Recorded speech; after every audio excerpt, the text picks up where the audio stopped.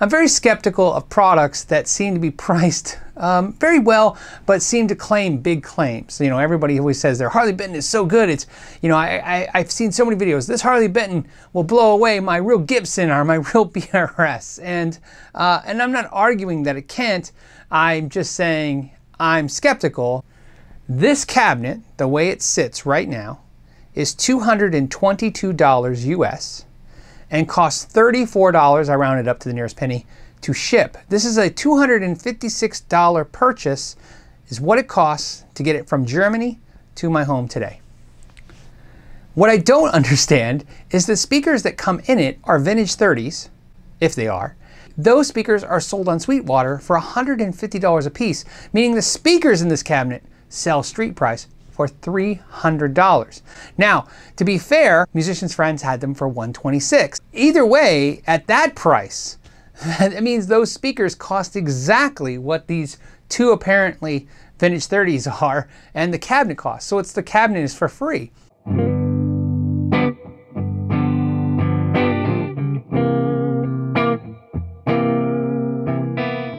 I'm also aware of cost though.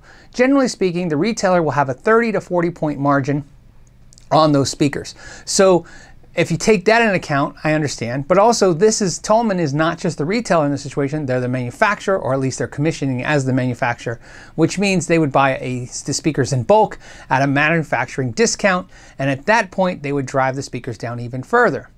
But something to note, I had recently in the last 12 months bought a Marshall 1936 cabinet, which I have currently still, and that speaker cabinet was four times the price of this cabinet and did not come with vintage 30s. It came with Marshall's less expensive equivalent of those speakers. Now, when I was picking out cabinets from Harley Benton, they have a horizontal and a vertical. I picked the vertical for two reasons. One, Generally speaking, I like vertical cabinets because I like having the speaker closer and aimed at me. That's why I have a lot of my amps on stands because I like to hear what's going on with the sound of the amplifier. I don't like to EQ it uh, as it like hits my knees and I can't really tell what's going on and I always end up kind of EQing it differently than if I was listening to it at my at my face like a monitor. I want to use it like a monitor. I don't know why I'm having so much trouble saying it's a monitor. And it's actually pretty light. Something else I thought uh, you were going to see was a lot of particle board. Now their website states that it is 16 millimeter plywood. It doesn't state what kind of plywood, but something to note, I've purchased cabinets in the past that were plywood but had a mixture of particle board and ply. There's nothing wrong with particle board, I'm just trying to understand where they could have saved some costs. The grill cloth that's put in place, or the grill that's put in place, it's fine, but it is not perfect. And what I mean by that is you can see it like bends a little bit, even though I know this is a pop-out speaker frame like you would see on certain amplifiers. This uh, It's bent a little bit here. It's not a B-stock. It looks like just when they put this cabinet together, you can tell it was put together as inexpensively and as quickly as possible. The vinyl is, like I said, very inexpensive. So is the grill cloth, but it is not bad.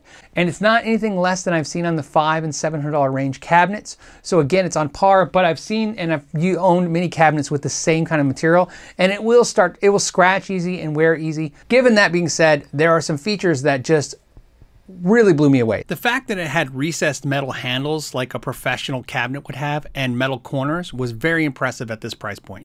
So that leaves the big question. Is it really Celestions?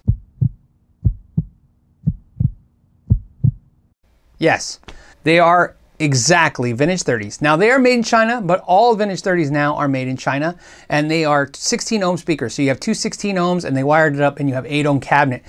This is the exact same speakers you would find in high-end cabinets everywhere. And more importantly, these are the two speakers you would buy if you bought from those uh, websites I mentioned earlier.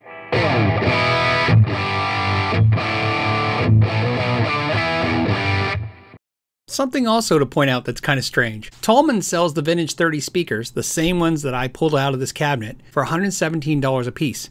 That's $268 for the set, shipped to your door. That's like selling one for a dollar and two for 250. So why are they selling it so cheap? I think this cabinet falls in the category of brand awareness. In other words, market share.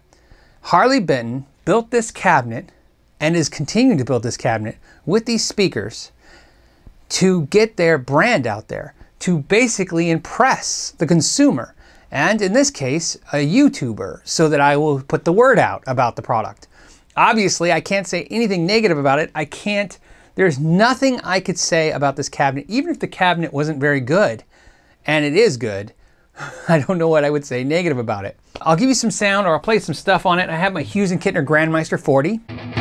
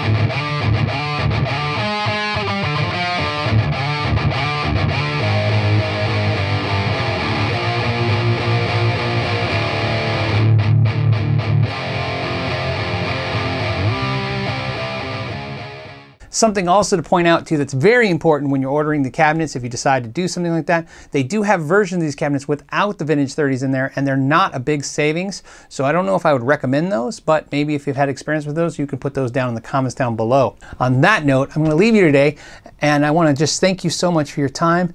Until next time, know your gear.